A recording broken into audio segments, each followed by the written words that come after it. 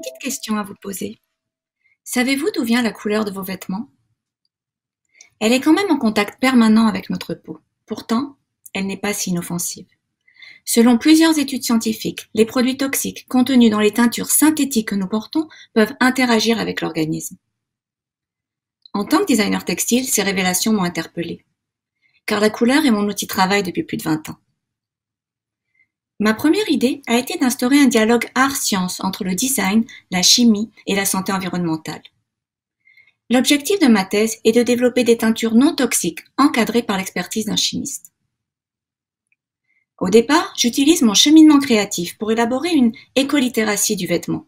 Écolittératie Qu'est-ce que c'est, me direz-vous? C'est une culture écologique en design qui permet de comprendre l'impact de nos productions sur les écosystèmes.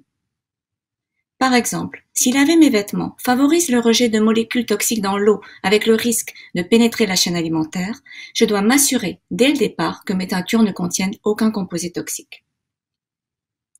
J'ai donc développé un protocole exploratoire afin de réaliser des teintures naturelles en utilisant un minimum de ressources. Pour la première étape, je recycle des déchets alimentaires qui permettent l'obtention de jaune ou de rose à partir de peaux d'oignon ou d'avocat.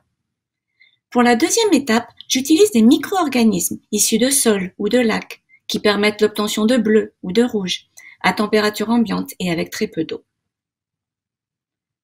Lors de mes expérimentations, j'ai remarqué que ces bactéries produisaient des teintes plus ou moins foncées selon les nutriments sucrés, salés ou acides que je leur fournissais. Je peux donc influencer la production de couleurs des bactéries selon la façon dont je les nourris. C'est génial c'est là que j'ai eu l'idée de croiser ces deux procédés. La combinaison des déchets et des bactéries permet l'obtention de palettes colorées beaucoup plus riches. L'oignon, qui donnait du jaune, produit, grâce aux bactéries, des teintes variant de l'orange au rouge.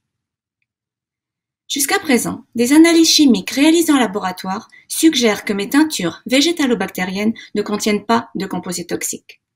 Ce qui est plutôt encourageant, car à l'heure où les maladies environnementales touchent de plus en plus de gens, S'intéresser à l'aspect moléculaire de la couleur, surtout celle en contact avec notre peau, n'est pas juste une question de mode, mais un acte de prévention.